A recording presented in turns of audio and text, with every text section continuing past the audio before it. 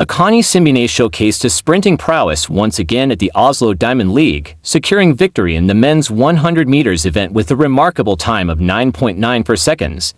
This win marked his second Diamond League triumph of the season, highlighting his consistency and strength on the track.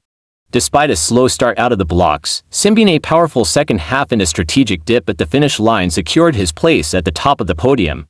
His performance overshadowed that of reigning Olympic champion Marcell Jacobs, who had to settle for fourth place, with a time of 10.03 seconds, showcasing Simbine dominance in the field.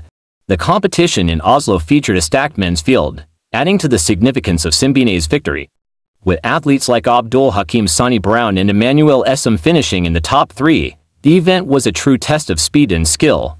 Simbine's triumph not only solidified his position as a top contender but also sent a strong message to his competitors as he continues to build momentum heading towards the Paris Olympics. His win in Oslo was a statement of intent, emphasizing his readiness to challenge for a medal on the world stage. Simbine's victory in Oslo comes on the heels of a series of impressive performances throughout the season. His world-leading time of 9.90 seconds at the Adidas Atlanta City Games showcased his speed and determination, setting the stage for a successful outdoor campaign. Despite facing challenging conditions, including a headwind, Simbine's exceptional performance in Atlanta demonstrated his ability to deliver under pressure and adversity. This resilience and focus have been key factors in his consistent success this season, positioning him as a formidable force in the sprinting world. The 30-year-old South African sprinter has proven himself as a top 5 sprinter globally, with notable finishes at major events such as the Rio Olympics and the World Championships. Simbine's dedication to his craft and his willingness to adapt and improve, as evidenced by recent changes to his technique, have contributed to his continued success on the track.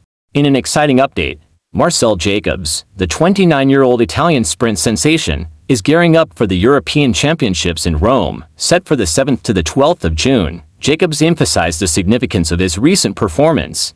With his sights set on competing in his hometown, Jacobs is determined to be in peak condition, aiming to deliver his best performance in front of a home crowd. Jacobs' rise to fame was meteoric, capturing a surprise gold in the 100 meters at the COVID-delayed Tokyo Olympics in 2021 and adding another gold as part of Italy's 4x100 meters relay team.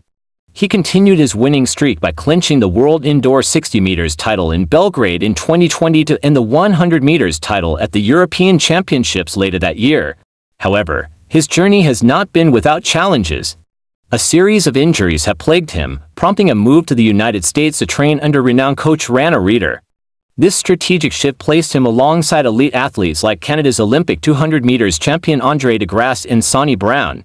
With the 2024 Olympics on the horizon, Jacobs is carefully balancing his training regimen, ensuring he doesn't push his body too hard too soon.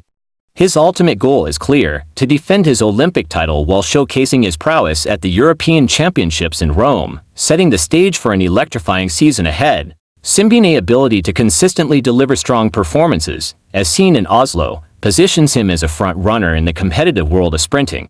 His strategic approach to races, combined with his natural speed and talent, have propelled him to the upper echelons of the sport.